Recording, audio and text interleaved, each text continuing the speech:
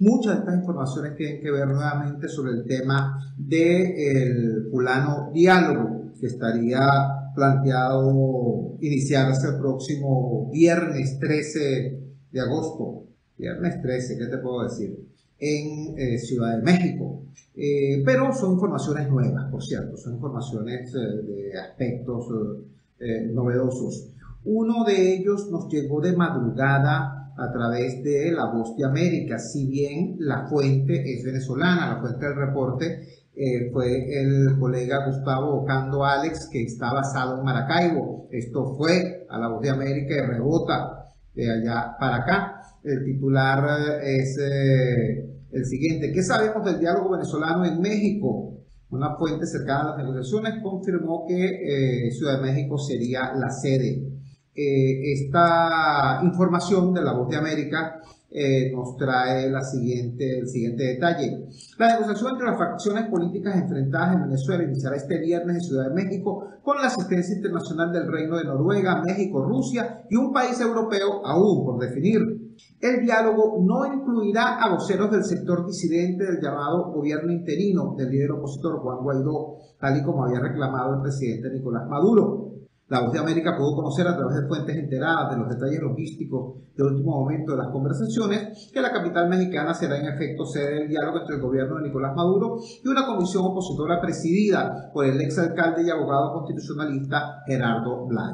Se confirma entonces que, eh, tal y como habíamos dicho ayer en nuestra cuenta de Twitter, eh, este va a ser un encuentro entre un sector del gobierno, la delegación oficialista eh, no tiene a representantes de la fracción de Diosdado Cabello, tampoco tiene representantes de la fracción del general Padrino, que como todos ustedes saben es uno de los factores, digamos, eh, determinantes dentro de la estructura de poder, es el madurismo en solitario quien va a Ciudad de México y se va a reunir no con todas las expresiones de la oposición, sino esencialmente con los factores que han servido hasta ahora de soporte al liderazgo de Juan Guaidó y a su condición pasada de presidente de la Asamblea Nacional y de jefe del llamado gobierno interino. Entonces va a ser G4 y Maduro la reunión.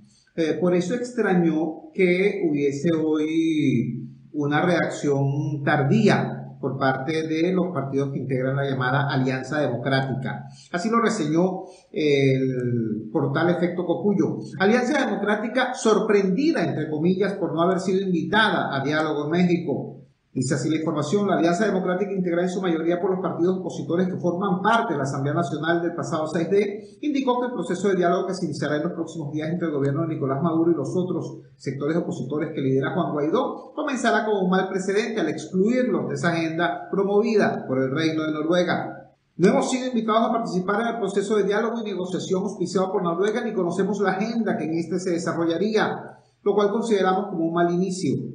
Eh, nos sorprende, dicen más abajo, la no invitación al proceso de diálogo en México. No solamente se trata de construir acuerdos, también consideramos importante el proceso de acompañamiento que sirva de garantía para que los resultados obtenidos puedan cumplirse. Bueno, repito, no sé por qué Carrizo, los uh, señores de la llamada Alianza Democrática, eh, se sorprenden por no haber sido invitados.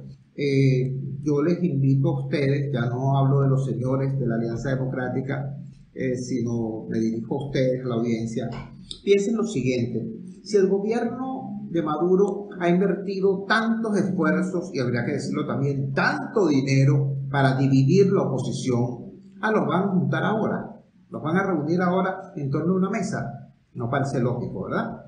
Bueno, esa es eh, parte de la información que hay sobre este tema. Eh, otro dato muy importante y novedoso es el que trae el diario El Nacional.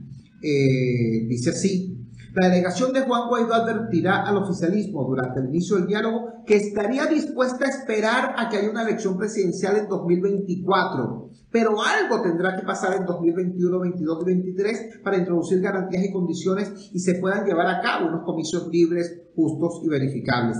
Esto es noticia. Esto es noticia. grupo de Guaidó venía hablando de, eh, bueno, que no se podía discutir nada si no salía primero Maduro del poder. Luego se fueron reblandeciendo cuando murió el mantra y dijeron, bueno, también podemos discutir, pero que haya una elección presidencial adelantada. Esto no se resuelve con elecciones de gobernadores, tienen que ser elecciones presidenciales. Después dijeron, bueno, que no sea adelantada, pero que haya un cronograma electoral donde estén las fulanas elecciones presidenciales. Y ahora están reconociendo que ellos admitirían eh, que la elección presidencial fuera en 2024, que es cuando está pautada de acuerdo al cronograma constitucional.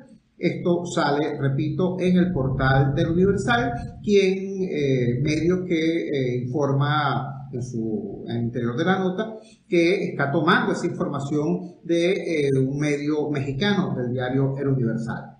Esto, oh, repito, planteado así, no tiene mucho que ver con usted que me está escuchando, no tiene mucho que ver conmigo, no tiene mucho que ver con nosotros.